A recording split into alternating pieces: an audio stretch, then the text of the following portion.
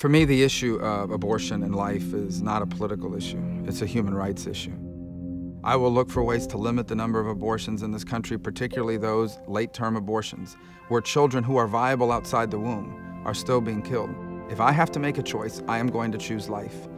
It's not because I want to tell anybody what to do with their body or their lives, but because I believe that one of the fundamental rights given to us by our Creator is the right to live. I'm Marco Rubio, and I approved this message.